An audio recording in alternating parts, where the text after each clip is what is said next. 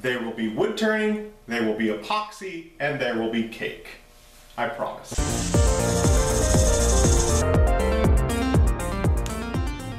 Every once in a while, you get an idea in your head and you just gotta try it, even if it turns out to be a failure. At this point, the idea is full of potential. It is nothing but potential. I have no idea how it's gonna turn out. If you're watching this, odds are we did okay. These both need to be the same amount poured into my Skippy jar. If you're not using a Skippy jar, I mean, your results are gonna vary.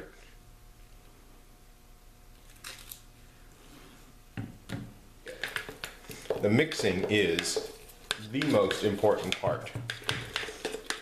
It is clamped down very well. I also put a ring of super glue around the inside here to try to keep it from coming out. Hopefully that will be effective.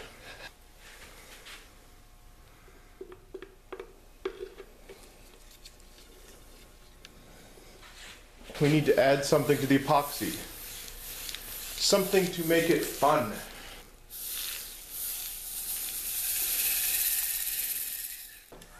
The bubbles will destroy an epoxy project. Heat does a good job of drawing the bubbles out.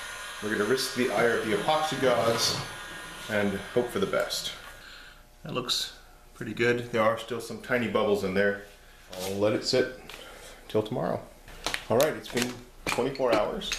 Moment of truth here.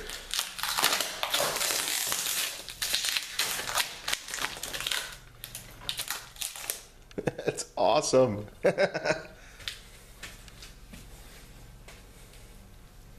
this part is always nerve wracking. So, but you can't leave it like this. It's all jagged up here. So we're just gonna trim it up, get through it, move on to the next step.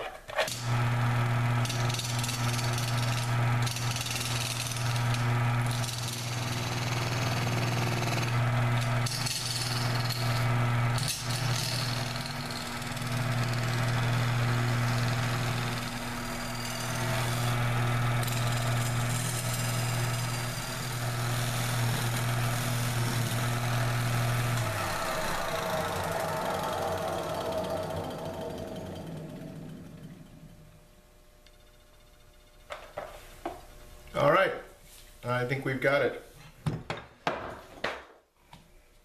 Piece like this, with all these bright colors, we'd want something dark to contrast it.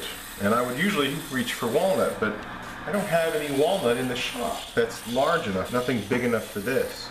So I do have a bit of cherry, and we'll see how that looks.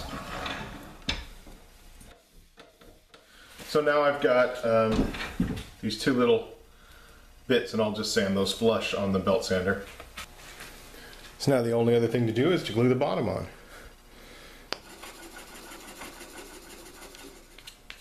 Just make sure you've got a good even coat. I don't think it's critical that it be perfectly in the center. And now I just need to find something heavy to put on top of it. I'm just going to clean out any squeeze out that I can reach under there.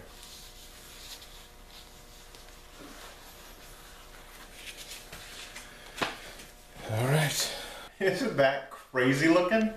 It is really neat. You can't really see the stand that well, which is fine because um, it's all about the sprinkles. Putting a cake on there would be would be really sweet. There is no cake. Uh, the cake is a lie. Paul Jenkins' channel is called The Viking Code. He made a very cool bowl with a nerd's rim around the outside, and it got me to thinking what other candy you can put in uh, in epoxy. Here's some shavings that I've got. That was crazy. If this is your first time with me, um, yes, I would say this is a typical project for me. A little off the beaten path. And if you're into vlog channels, I also have one of those. I'll put the link for that down in the description. Thank you very much for watching, and please subscribe.